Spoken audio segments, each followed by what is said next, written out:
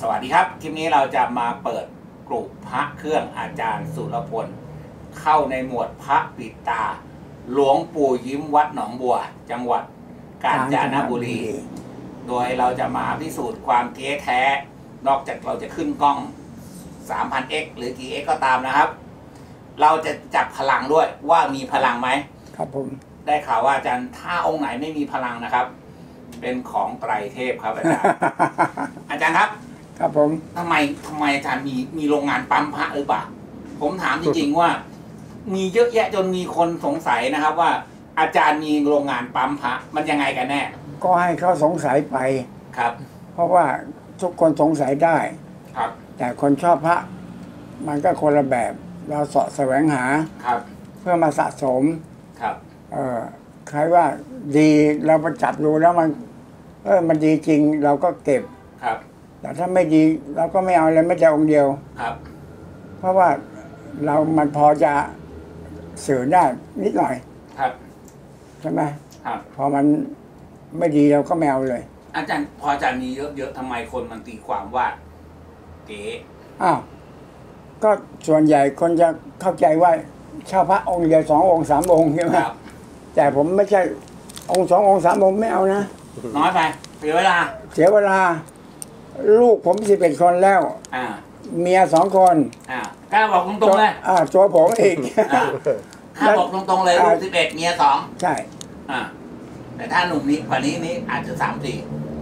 จริงๆแล้วผมมีเมียห้าคน นี่สารภาพหน้าหน้าเฟซเลยโอ้โถอาจารย์นัทอ๋อ รู้แล้วทำไมมี ดูดูดูดูหน้าตาหน้าตานี่นี่นะครับ หน้าตาอาจารย์ลูกนี้ถ่ายตอนอายุเท่าไหร่ยี่สิบ ไอ้ยี่สิบมั้งใช่ป่าวะยี่สิบอ่าโอ้โห หน้าตาแบบนี้ ตอนนั้นเป็นที่เป็นเป็นที่ต้องการของสาวคนถาวไทยร้อยล้อเบลอะ ขนาดนั้นเลย เออ จริงโอ้จริงเหรอ จริงเฮ้ยแต่มาเสร็จสองคนนี้ แต่มามามามาเสร็จสองคนนี้ที่อยู่อ่าแล้วนอกนั้นน่ะ สนุก สนุกเล่นๆต่างไปต่างคนต่างไปทุกจังหวัดเลยดิโอ้โหผมอยู่ในบ้านยังมาหาในบ้านนี่ถ้ามีคลิปวิดีโอนะ มันจะยืนยันได้ตอนนี้แปดสิบแล้วต้องปล่อยเลยดำเลย ต้องปล่อยเลยดำปล่อยแล้ว อาจารย์ครับทำไมเก็บพระหลวงปู่จีนครับไอ้หลวงพ่อยิ้ม ก็ผมมีได้อยู่เมืองการน่ะครับแล้วก็ เออผมมีได้ตั้งแต่ปีสามสิบสามสองพันห้าร้อยสามสิบสามครับ ครับ เยอะ แล้วก็ไปเจอครับ ว่าหลวงปู่ยิ้มเขาดังครับเขาลกขมูลคุยกับพวกสิงสารสัตว์ได้ครับ เออเราก็ไปเอาครับหลวงที่เมืองการไม่ใช่มีนี่อย่างเดียวนะหลวงพ่อนาควัดศรีโลหะหลวงพ่อเปลี่ยนวัดใต้ ผมก็มีนะ หลายเกจิเออละเกจิสิ่งที่ดังดังๆๆอะนะหลวงพ่อลำไยหลวงพ่ออุตตมะอืมนี่หลก็วงดังพ่ออะสายวัดท่าขนุนครับพวกเนี้ยที่เมืองการอะดังๆท่ากระดานก็มีครับผมแต่ท่ากระดานเราออกไปแล้วนี่นี่อ่าที่แพรสะโกง ครับผม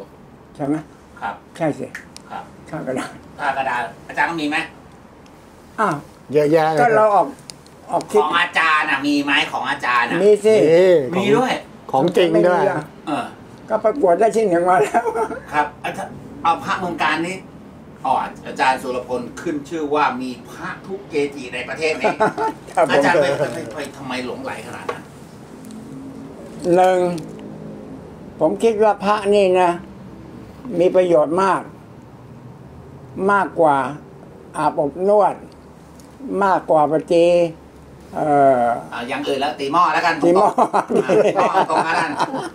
อาจารย์ทำทำไมทำไมเหล้าก็ไม่กินบุหรี่ก็ไม่สูบขอความเป็นความรู้หน่อย ครับผม ไปเที่ยวผู้หญิงทำไมเขาเรียกตีหม้อทั้งทั้งๆที่เราไปเที่ยวผู้หญิง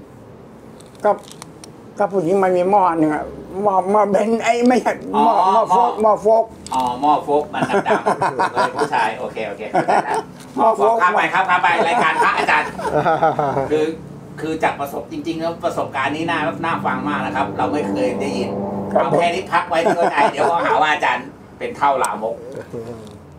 เราจะลามกที่ไหน เราเปิดเผยให้ฟังว่าเราไม่ได้ทำอะไรคือคืจะอลามกได้ไงเจอเจออาจารย์สุรพลนะครับเออ คุยกันสนุกสนุกได้นะครับ ครับ เพื่อที่จะให้ความจำมันมีอยู่ อันนี้มันแน่นอนอยู่แล้ว ครับ เราต้องคุยเพราะสัพพะสัพเพเหระถ้าไม่คุยเราก็ลืม ครับพระบางองค์ผมยังลืมชื่อเลยมันครับ นึกไม่ออกทั้งชาติพระดังจะตายหาเราก็นึกอุ้ยครับพูดไปพูดมาทำไมลืมองค์นี้ไปวะโอ้เดี๋ยวลืมอย่างนี้สบายเลยอาจารย์ธนวัฒน์เอาอย่างนี้สบายเลย ได้แบ่งเลยนะ ลืมลืมบ่อยๆนะเอออาจารย์พระหลวงพ่อหลวงปู่หลวงปู่ยิ้มเนี่ยดีตรงไหนครับ ที่อาจารย์จับพลังแล้ว ก็เมตตาอืมหนังเหนียวเมตตาค้าขายขายครับ แล้วก็อยู่ยงคงกระพัน พูดง่าย ๆ ว่าครบเครื่องครับพระของท่านอะครับกันสิงสารสัตว์ได้ครับเอ่อกันและทุกอย่าง ท่านไม่ใช่มีแต่พระอย่างนี้อย่างเดียวนะครับ ลูกอมท่านก็มี ลูกอมพันสาวพรหมจันทร์ก็มีตะกรุดก็มีตะกรุดก็มีครับ มีทุกอย่างครับ แล้วก็มีพุงป่องใหญ่พุงป่องเล็กสีดำ เนื้อดำเนื้อขี้เป็ดเนื้ออะไรต่ออะไรมีหมดอะเขียวขี้เป็ดแต่ว่าที่ผมได้เราเอามาโชว์แค่นี้พอแล้วครับผมนี่นะครับ เดี๋ยวเราจะขึ้นกล้องก่อนที่จะจับพลังนะครับ ว่าอืมขึ้นกล้องเราจะเห็นอะไรบ้างครับ เนี่ยอาจารย์ทำไมต้องใช้กล้องขนาดนี้ อ้าวเพราะว่า 10x อะมันก็ดูได้แค่ผิว ครับ อันนี้มันมันดูได้ลึกครับ ว่ามันมีอะไรบ้าง ครับ บางอย่างที่บนนี้มีแต่ 10x มองไม่เห็นหรอกมองไม่เห็น ไม่เห็น จริงๆครับมันเล็กเกินกว่าที่กำลังขยาย 10x มันจะได้ ครับ อาจารย์ใช้มากี่เดือนปีกว่าหรือสองเกือบสองปีดีกว่าแล้ว คำใช้มาปีกว่าส่องเป็นไงบ้างอาจารย์ก็ดีเพลินดีเพลินดีอ่าไม่หไม่นึ่งต้องเพลินดีสองให้ความรู้ดี ครับ เราจะได้รู้ว่าพระสมเด็จเราเนี่ยมันมีอะไรบ้างครับ อ่ามวลสารทุกต้นมันคือใช้มวลสารอะไร ครับ ยุคที่สองใช้มวลสารอะไร ครับ มันจะใช้มวลสารอย่างเดียวกันหมดนะครับ สมเด็จพระจารย์โตเนี่ยครับ แตกต่างกันไปนะครับ แตกต่างแล้วแต่ ยุคแล้วยุคแต่ยุแล้วคแต่ยุคแต่แล้วแต่ยุคแต่ยุคแต่ยุคสันนิษฐานว่าบารมียุคต่างร้อยกันยุคร้อยสามยุคร้อยสี่ยุคร้อยห้าครับ ไม่เหมือนกันนะ ยุคก่อนเป็นสมเด็จไม่เหมือนกัน ไม่เหมือนกัน เพราะบารมีในการหามวลสารใช่ ไม่เท่ากันไม่เท่ากัน นี่นะครับ อาจารย์ครับหลวงปู่ยิ้มเนี่ย อะอะส่องให้ดูนะครับ เราจะไล่ส่องดูอาจารย์ขยับให้ดูปรับขยับกล้องให้ดูนิดนึงครับนี่นะครับ อืมดูดูครับ มีรัตนาชาตินะนะ เขียวส่อง นี่นะครับ อ่าเราขยับดูนี่เห็นไหมครับหรือคือใครไม่เคยเห็นสภาพหลวงปู่ยิ้มวัดหนองบัว น่าจะมีเขียวเรียกทรัพย์อะนะครับผม